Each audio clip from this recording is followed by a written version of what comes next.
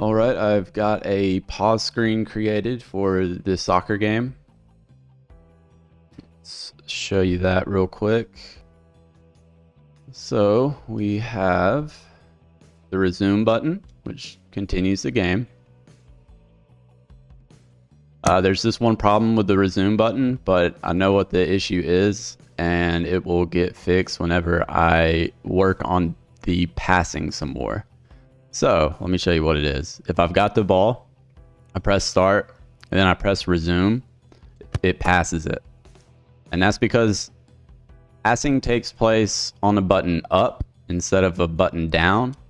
And the reason for that is so we can control how hard we want to pass, which I have not implemented yet. So it just passes a standard pass force every single time. But I'm going to get it to where if you hold down pass, he'll pass it harder. And if you just tap pass, he'll just do a do a soft pass. But that's why that doesn't work, or that's why it does that. See, every time I press resume, they pass it. It's because I'm pressing down to resume the game but then when the button comes back up, the game's already started again and they pass it. All right, moving on to restart. Press restart and oh, looks like I just found an issue with that.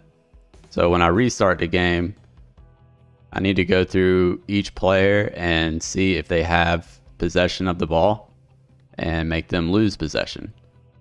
So I'll get that fixed. I'm going to make a quick note of that really quick. For the most part, it does what I want it to. Um, and we quit. It takes us back to the main menu. We can select a different team. We're back in the game. Ah, and look at that. The timer didn't restart up in the top. Found something else for all three of my buttons in the pause screen that I need to fix. So let me jot that down as well. But for the most part, it does do what I want it to do. And let's take a look at it. It's fairly simple. We've got our event system, our canvas. I I added a camera initially just for testing, but then I noticed that it actually I kind of like the way it looked. Um, whenever the game is paused, I like how it it just moves in like that. So I decided to keep the camera. That was not planned. Um, kind of an unintentional bug, if you would even call it that. Anyways, uh, so yeah, we got our,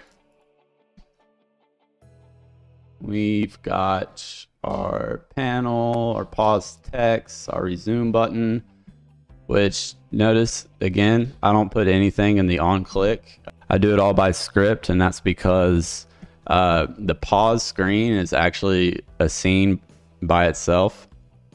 Um, and we just load it additively uh, to the scene whenever we pause it, and then unload the scene whenever we unpause. so I can't just drag in the resume game, uh, resume game functionality um, because it's in a different scene.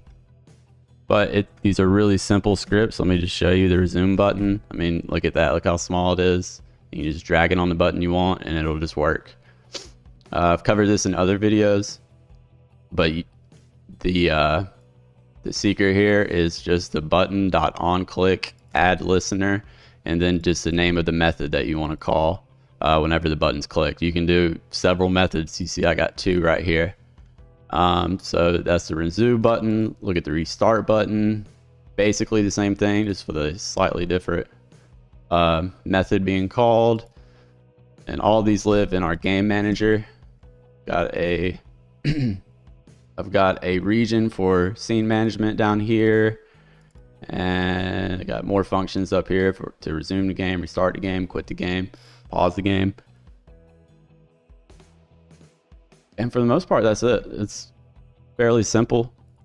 Um, I like to use a a new scene for for my UI elements because of the event system. You can only have one event system at a time in a in a scene or a in a game, or you're you're supposed to only have one.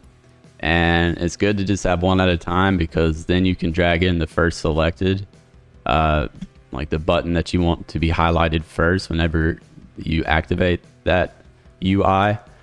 Um, so it'll work with gamepads and keyboard as well. So that's why I like to do that.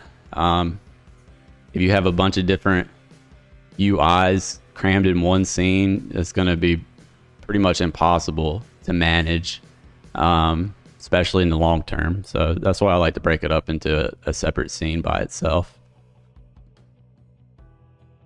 Thank you so much for watching. If you found this video useful, please consider giving me a like and a subscribe as that really does help me a lot with YouTube's algorithm.